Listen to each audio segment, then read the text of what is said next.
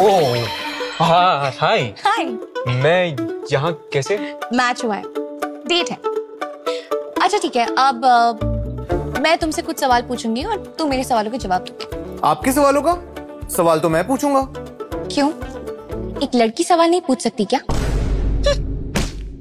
सो पहला सवाल um, मंजिल ज़रूरी है या रास्ता? साथ में चलने वाला साथी। ब्रो ये लाइन काम करती है क्या आज भी? तुम बताओ कर रही है क्या? नहीं। ओके दूसरा सवाल। क्या तुम एक नोन फ्यूचर को अननोन फ्यूचर से रिप्लेस करोगे?